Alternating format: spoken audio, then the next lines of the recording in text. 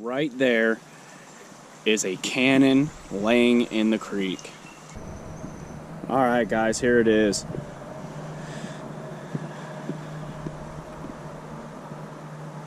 The M1902 or model 1902 cannon right here. It's a three inch field gun. You guys might have followed or follow some of the same metal detecting pages I do. So about a year and some change ago, I put this on Facebook asking if it was a cannon and a lot of people were like, no, it's this and this.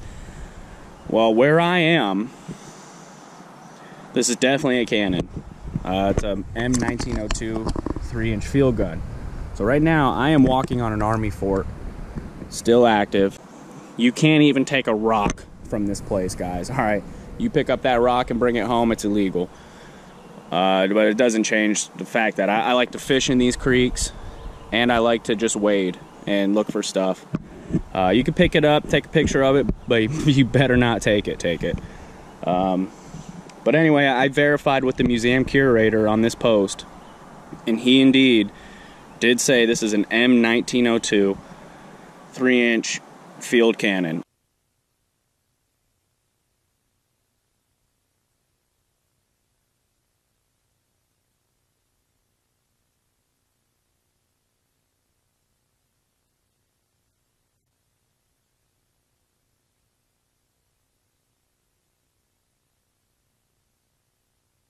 The reason why it's in this creek, they were during World War One or after World War One, they didn't need them anymore.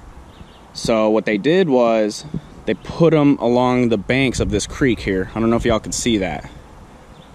So right after World War One, this creek here it sometimes can get to a mile wide. And the flooding got so bad they had to start using concrete and trash like this right here to throw on this creek to stop the eroding of the bank. Well, for some reason they decided, hey, we'll use our old cannons. They definitely rendered them useless and uh, used them. You know, instead of wasting them or selling them to another country, we used it to stop eroding. But anyway, after, you know, 100 years, guys, this ends up washing out of the bank. But there you, you have the breech there.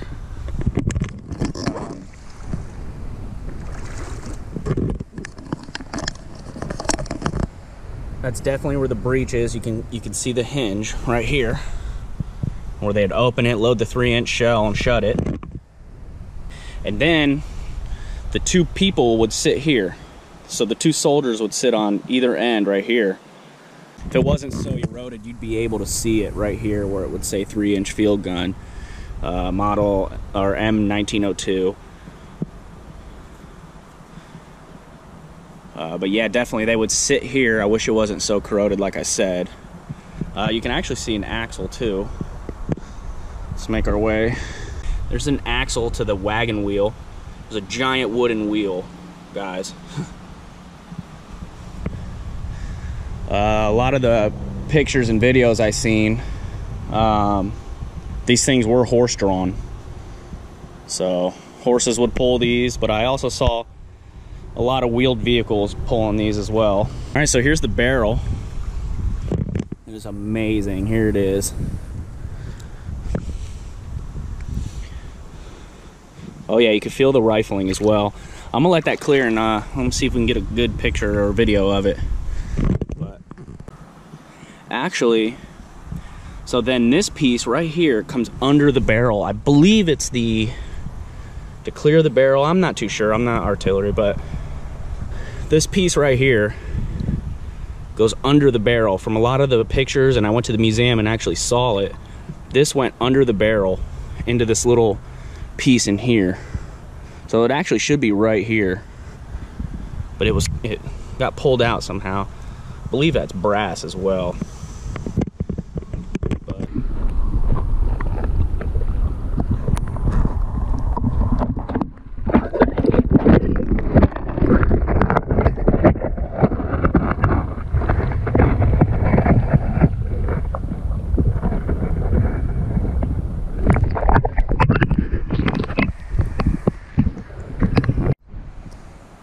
Guys, and here's a, another cannon. This one's flipped over.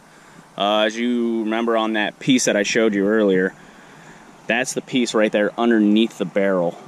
Um, let's see if I can get a better view here. I'm making it murky. Um, so this is the piece that I was showing you guys that was under the barrel. I, I'm not too sure what this is, but it's definitely brass. I can tell you that. And there's the barrel right here underwater, and then the piece under it. So this one here is just flipped over completely. So, I mean, you can almost imagine why they used them to stop the erosion. I mean, the water pressure is so, so bad here, and uh, the banks erode very, very easily. So, the force to pull this cannon out of the bank and flip it the way it is, it's just amazing. But see if we can get a better shot of that. There's the barrel right here, then the under piece of the barrel. But Here's the axle that it sat on. You can see that axle over there, right here. And this is just an undershot of it. That's pretty cool. Definitely got more pieces under here. There it is. There's the breech again. In the back. Just an undershot of it.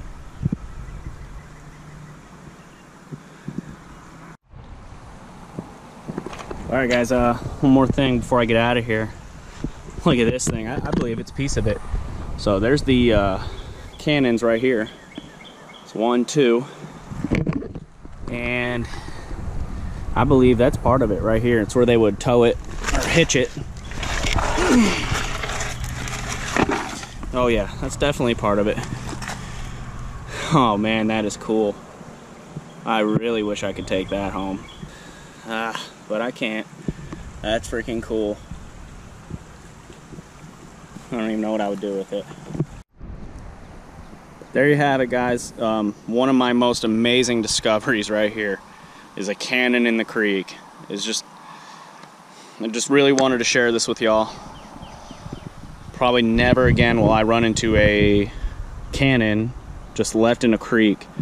Um, who knows? This thing might have saw action in World War One uh, and then shipped back here to the States. I don't know. But all you could do is just imagine uh, the soldiers sitting on this thing, shooting it. But uh, thanks for watching, guys. I appreciate it. Uh, again, I got a lot more videos coming out. So if you haven't already, please like and subscribe. And uh, I appreciate it, guys.